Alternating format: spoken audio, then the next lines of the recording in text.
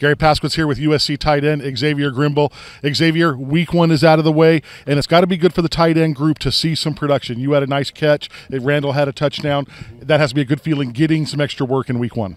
Um, it was a pretty good week. Uh, yeah, a lot of work, a lot of work in, a lot of new stuff going in this week. Um, just got to keep working hard. We had a decent first game. We can uh, play a lot better. I feel like we got a lot of mental mistakes that we got to work on, and uh, we just got to define the small details. We'll be all right it seems like with you and Randall in there at the tight end spot, it almost seems like you guys can be interchangeable at times. You do one thing, he does the next. It just seems like you guys have a nice rotation in there. Yeah, that's uh, kind of what, what we've been working towards is um, trying to um, just make both ourselves be uh, really versatile so coach can do pretty much whatever he wants.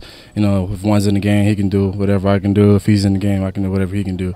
So that's kind of what we've been working towards this whole offseason is just uh, trying to become really versatile and be an all-around tight end, just be able to do whatever coach asks of us. And speaking of that, becoming an all-around tight end, one of the things that the coaches are really emphasizing for you guys this year to really help you grow in the areas, primarily in pass catching.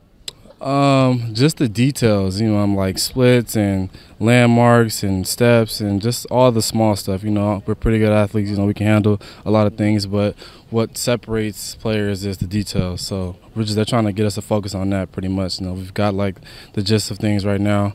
So right now we're just trying to master our craft and every little tiny thing. We're just trying to master it. And what do you see right now from the Syracuse defense and what they offer?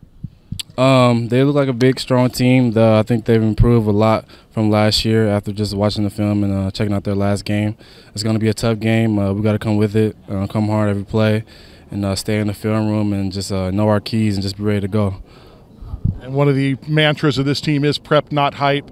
Uh, you guys try to focus on the game, but this week, going back, taking a cross country trip, playing in New York, playing in an NFL stadium, there are some other elements to this game. Yeah, there's definitely a lot of hype around this game. But you, anybody that knows Coach Kiff, he always preaches prep, not hype, and uh, that's what it's about. Because you know, if we go in there, we're not prepared, and we do some bad things, and none of that stuff is going to matter.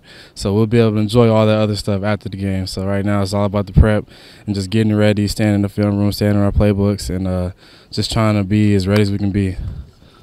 Trojans get prepared to play Syracuse this Saturday.